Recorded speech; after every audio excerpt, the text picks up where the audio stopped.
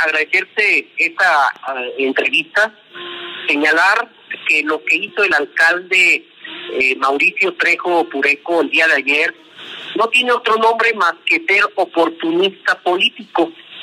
Yo creo que este presidente municipal piensa que todos son de su condición. Yo quiero decirte y dejar muy claro que lo que estamos viendo de ese oportunismo político es que el presidente Mauricio Trejo quiere desviar la atención. Una atención de lo que está ocurriendo y que lo ha callado él astutamente. Yo quiero decirte que al día de hoy, este alcalde Mauricio Trejo está enfrentando un proceso penal y no dice nada de eso a la sociedad, no está informándole a la sociedad que él el día de mañana quizá puede ser encarcelado, ¿eh? Que quizá él está ahorita actualmente vinculado a un proceso penal y quiero decirte la causa penal es IP 344-18-190 y a él se le vinculó a un proceso penal por peculado, nada más, nada menos que por malversar recursos públicos, por utilizar mal los recursos públicos de la gente de San Miguel de Allende. Y esto es muy grave, porque está poniendo al municipio en un foco muy rojo, un foco en donde quizá él vaya a la cárcel. Mauricio puede enfrentar un proceso penal y seguramente si se le acredita, en una de esas se le tendrá que iniciar un proceso de revocación de mandatos en el Congreso del Estado, porque al final de cuentas es muy grave lo que acaba de, de dictar un juzgado federal, un juzgado también estatal, en donde se le vinculó a proceso. Por eso nosotros creemos que está tratando de desviar la atención de lo que está ocurriendo. Es decir, quiere desviar la atención hacia los gobiernos de acción nacional. Hoy yo también quiero decirte que las autoridades fiscalizadoras, en este caso es la, la, la Auditoría Superior del Estado de Guanajuato y la Auditoría Superior de la Federación, son ellas las encargadas de revisar la adecuada aplicación del recurso público de las administraciones municipales y no sus despachos que está contratando para tratar de desviar la atención. Ahorita vemos cómo ayer aparecía con gente de despachos y la pregunta es quién nos está pagando, de dónde está saliendo el recurso, por qué está utilizando este recurso público para desviar la atención, cuando ya existen otras autoridades que ya han investigado y han revisado y ya han sido revisadas las administraciones panistas. Han pasado estas revisiones y también somos objeto de constantes revisiones, tanto internas como externas. Entonces yo creo que ya existen las autoridades que han estado revisando y al día de hoy no hay ninguna observación. Yo quiero decirte que este alcalde de San Miguel de Allende está en su derecho, pero él como alcalde tiene la obligación de revisar la adecuada aplicación de los recursos tanto pasados como presentes. Pero ahorita en el presente él está enfrentando un proceso penal. Y que insisto que este proceso penal ya le dieron la vuelta, ya la autoridad penal le dijo se vincula a proceso por malversar recursos públicos. A él sí, a él sí se le dijo quizá en un momento dado vaya a pisar la cárcel. Nosotros eh, no podemos ahorita pronunciarnos en un sentido hasta que también se concluya el proceso que, he señalado. Ahorita lo que yo tengo en mis manos es una copia de la resolución donde considerando segundo se habla de esta vinculación de proceso contra el alcalde Mauricio Trejo Pureco. Yo también sé que existen órganos internos como la Contraloría, en donde existen mecanismos ciudadanos, órganos de transparencia, para visibilizar el correcto actuar de las autoridades, y no de una manera vil o, u oportunista como lo está haciendo Mauricio Trejo. Yo creo que también existen, por supuesto, los medios de comunicación que nos ayudan a, denunciar y a exponer el actual de este tipo de gobiernos como el de Mauricio, que está tomando el oportunismo político, que está tratando de desviar la atención hacia otro lado y, y, también aquí dejarlo claro, no se trata de pleitos entre panistas o priistas. Yo creo que aquí se trata de lo que tenemos nosotros que estar visualizando de lo que le conviene a la sociedad. Yo creo que lo que pretende este señor Mauricio es polarizar a la ciudadanía. Y eso ahorita, eso no va. En los gobiernos de Acción Nacional hemos sido los más transparentes, somos los mejores gobiernos, no solamente a nivel nacional, sino a nivel estatal. Los gobiernos eh, de Acción Nacional son los que mejor aplican los recursos a la ciudadanía. ¿Qué es lo que yo le diría a este alcalde? Que se ponga a trabajar, que se ponga a actuar.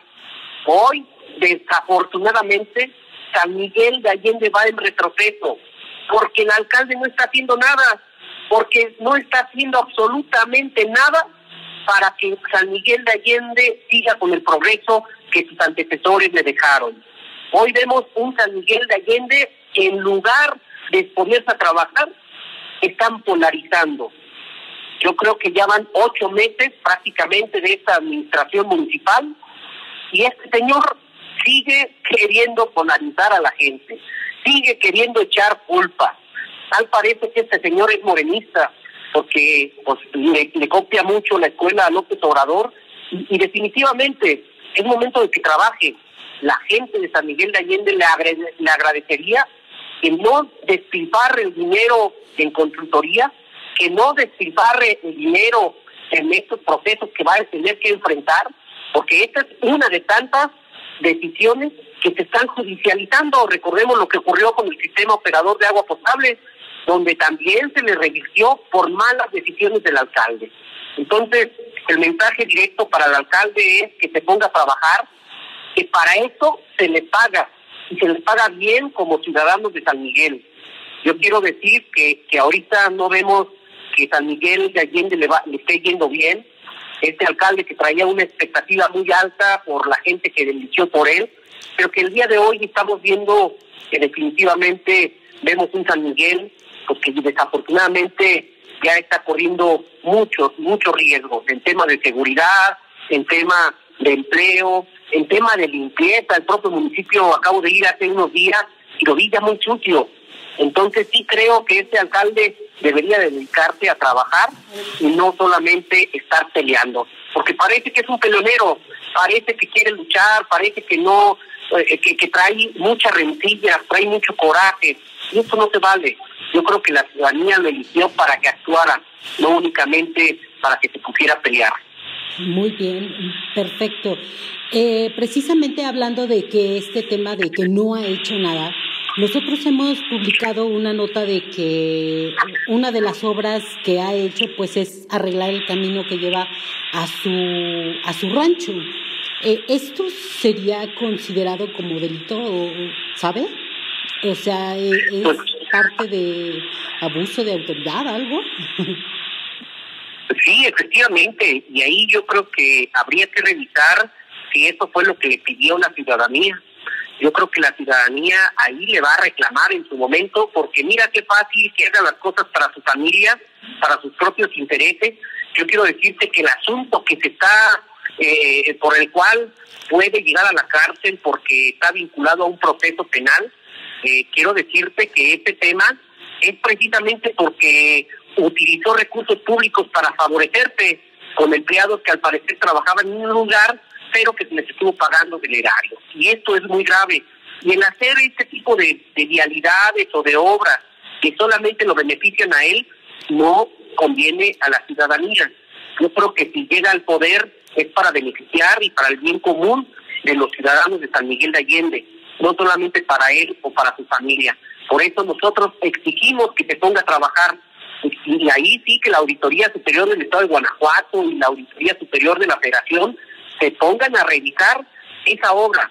Yo creo que, que, es muy muy muy loable la nota que ustedes realizan dentro del periodismo, que ayuda a que los ciudadanos se, enteren de lo mal que está haciendo esta administración. Prometió trabajar para los sanmiguelenses, pero no lo está haciendo así. Él está trabajando para sus propios intereses y nosotros vamos a seguir insistiendo en que sean las autoridades las que determinen el tema de lo que está ocurriendo ahí en San Miguel Allende. Insisto, quiere desviar la atención, tiene muchos focos rojos. Este tema de la obra que tú mencionas, este camino a su rancho, el tema de, la, de que está vinculado a proceso, que en una de esas el Congreso del Estado puede entrarle y quizás pueda entrarle para quitarle eh, el, cargo, ¿eh? Porque es muy grave lo que hizo, el tema de peculado, que ahorita, insisto, ha vinculado procesos, pero el día de mañana puede eh, caer en una irregularidad mayor que puede caer en sentencia. Y si es así, pues tendremos que estar revisando cuál va a ser el escenario que ocurre ahí en este municipio. Ahorita está en la cancha del Poder Judicial. Seguramente va a haber una sentencia y ahí vamos a estar vigilantes para actuar, porque ya ahí sí entraría ya en la cancha de los diputados, revisar la situación jurídica del propio municipio, revisar qué es lo que va a proceder eh, en caso de que resulte culpable, que pues obviamente va a haber una sentencia. Y no podemos tener a, un delincuente en la presidencia municipal. Entonces ahí sí tendrá que tomar cartas en el asunto el propio Congreso del Estado eh, para la cuestión de, la revocación de mandato por violaciones graves a la Constitución y, porque no podemos tener a un delincuente dentro de la presidencia. Y segundo, por supuesto que los diputados tienen que estar vigilantes, no solamente los del PAN, de todos los partidos políticos, los tendrán que estar vigilantes de su actuar. Por eso yo decía la Auditoría Superior del Estado de Guanajuato, que es un órgano del propio Congreso eh, del Estado, un órgano autónomo que tendrá que estar en su momento revisando. Y en las cuentas públicas vamos a tener que estar revisando, o los diputados tendrán que estar revisando que el actuar esté apegado a derecho. Que, que si esta obra que tú me mencionabas, que va a su rancho, pues obviamente se tiene que vigilar y será, habría que revisar con qué recurso lo hizo.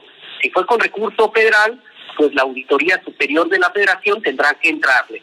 Si fue con recurso estatal o municipal, ahí la Auditoría Superior del Estado de Guanajuato tendrá que estar revisando. Pero sí yo creo que el alcalde trata de distraer la atención de todas y de todos con la finalidad de evadir estos juicios que está enfrentando, para evadir su nula actuación en el ayuntamiento, en el municipio, en donde ya ahorita yo ya siento la desesperación de este alcalde que ante la nul, el nulo resultado que hay está empezando a despotricar en contra de todo mundo. Y, y, eso no nos lleva a nada, no nos lleva porque está haciendo acusaciones que en su momento tendrá que probar y que en su momento tendrá que, que, que, estar enfrentando quizá un juicio con la intención de demostrar la, lo que acaba de decir, lo que en días pasados decía. Pero lo que sí es cierto es que al día de hoy no hay nada, al día de hoy existe un oportunismo político que a nada conduce a San Miguel de Allende. Eh, ahora sí que en un proceso que él está enfrentando, ahí no va a tener amigos, ¿eh? porque ahí es una parte contra la otra. Al día de hoy lo que existe es una resolución en donde a él le están vinculando a procesos, porque quizá la autoridad judicial en este momento consideró que existen los elementos para fincarle un proceso.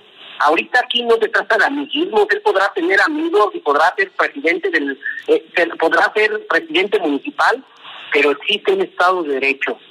Existe, aquí no hay amigos.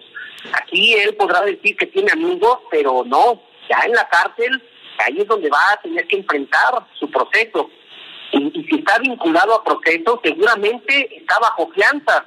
Habría que revisar la causa penal para ver eh, eh, si está sujeto a, proceso con alguna medida cautelar, con alguna medida de, fianza o alguna cuestión que la autoridad judicial tuvo que eh, otorgar para efecto de, de revisar si seguía en libertad o no.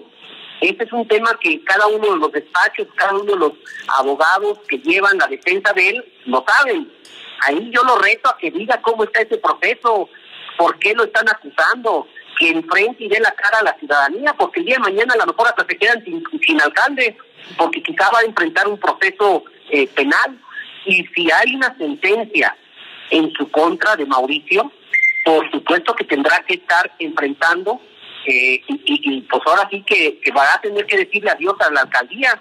Y ahí no hay amigos, ahí hay leyes, ahí hay eh, responsabilidades que tendrá que enfrentar, porque esto no eh, se dice muy fácil. Y él podrá decir que es amigo del presidente de la República, y él podrá decir que es amigo de todo el mundo, pero ahorita hay una gran responsabilidad que tiene, una responsabilidad que tendrá que enfrentar, y que al día de hoy te puedo decir que existe un juzgado que al final del día dijo que existe una responsabilidad o, que tendrá que enfrentar un proceso penal, que se tendrá que dictar una sentencia.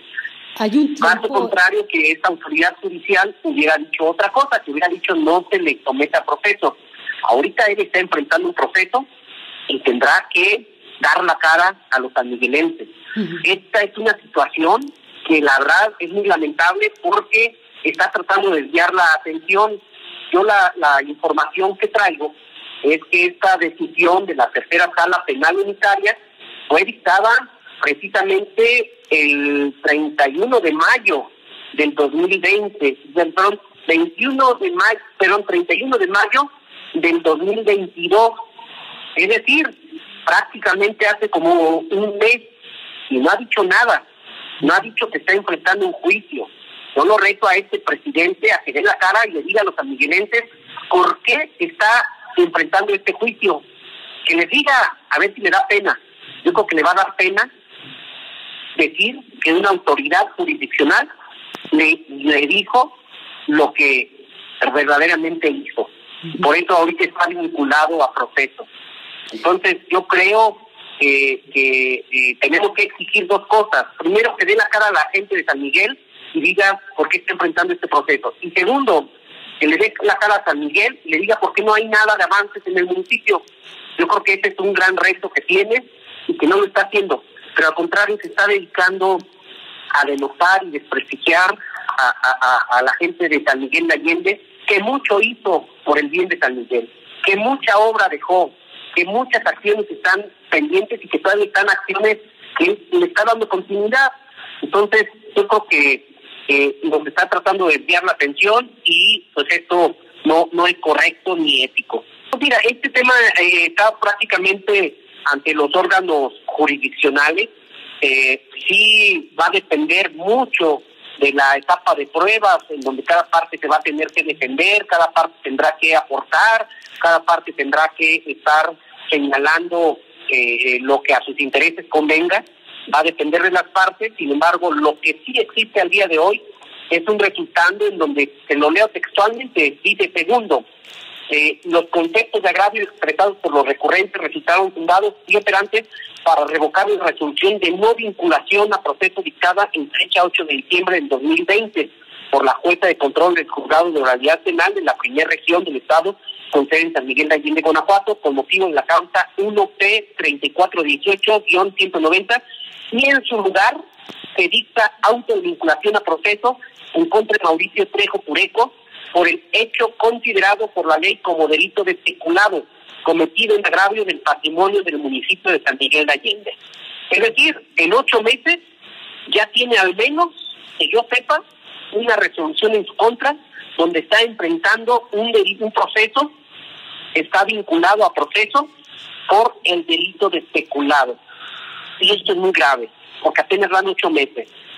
Ya decíamos, no ha hecho nada, lo único que está haciendo es eh, de acuerdo a este documento, eh, eh, el delito especulado en contra de los intereses de San Miguel de Allende. Por eso sí creo que tiene muchas explicaciones que dar este personaje. ¿Esto podría poner en riesgo esta alianza a PRI-PAN para enfrentar el próximo proceso? No, mira, yo creo que es un tema que a nivel nacional se tendrá que definir. Quizá la presidencia de la República, diputados federales, quizá senadores pudieran ir en coalición, pero aquí en lo local está en análisis, o sea, no hay nada asegurado, porque en caso que fuera en Guanajuato, por supuesto que nosotros seríamos los primeros opositores de tener personas que están enfrentando juicios.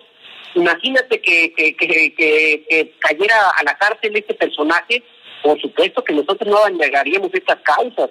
Por eso sí tenemos que ser muy cuidadosos con quién nos juntamos, con quién nos sentamos, con quién vamos a estar platicando. Aquí tenemos que revisar y en su momento revisar si efectivamente vamos o no en coalición. Pero hay excepciones, por supuesto, en donde el PAN tendrá que poner sus condiciones también para decir, pues espérame, no vamos con delincuentes, no vamos con gente que está sujeto a procesos, no vamos ahí con gente que, que el día de mañana nos vaya a acarrear una carga negativa hacia nuestra, nuestra fracción. Por eso nosotros ahorita hemos sido muy cuidadosos se está analizando la posibilidad, pero por supuesto que en este tipo de, personas sería un análisis para ver si efectivamente sale sentenciado. Si sale sentenciado, pues se tendrá que enfrentar él su responsabilidad. Si no sale sentenciado, vamos a revisar. Pero al final del día no hay nada cerrado en el nivel estatal. A nivel nacional, seguramente México necesita esa unidad, pero a nivel estatal tendremos que revisar qué tanto le aporta cada uno de los partidos involucrados.